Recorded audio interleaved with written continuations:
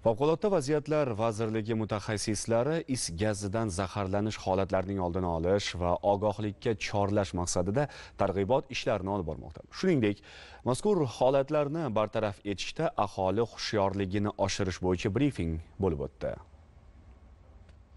Havo haroratining pasayishi munosabati bilan favqulodda vaziyatlar vazirligi mutaxassislari is gazdan zaharlanish holatlarining oldini olish va ogohlikka chorlash ishlarini kuchaytirilgan tartibda olib bormoqda mamlakatimiz hududlarida isitish mavsumi boshlanishi bilan tegishli idoralar xodimlaridan iborat 220 dan ortiq ishchi guruhga jalb etilgan 8 mingga yaqin vakillar uyma uy yurish orqali ishlarni olib bormoqda aksariyat hollarda isitish tizimlarining ishlashida aniqlangan kamchiliklar ta'minlash tiklash guruhlari tomonidan joyida bartaraf etilmoqda.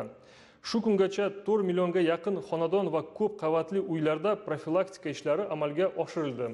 Favqulodda vaziyatlar vazirligi mutaxassislari tomonidan uyma uy yurib aholiga is gazi yong'inlar va gaz havo aralashmasining chaqnashi yuzasidan o'zida batafsil ma'lumotni aks etgan eslatma va bukletlar tarqatilmoqda. Shu bilan birga bunday ko'ngilsiz hodisalarning oldini olish bo'yicha ko'rsatmalar ham berib kelinmoqda. Isitish mavsumida fuqarolarni barcha ehtiyot choralarini ko'rishga va har qanday holatda ham xonada is gazi to'planishiga yo'l qo'ymasliklarini so'raymiz. Buni amalga oshirish uchun xonani ochiq olov bilan isitish mumkin emas. Dudbronlar doim toza va soz bo'lishi kerak.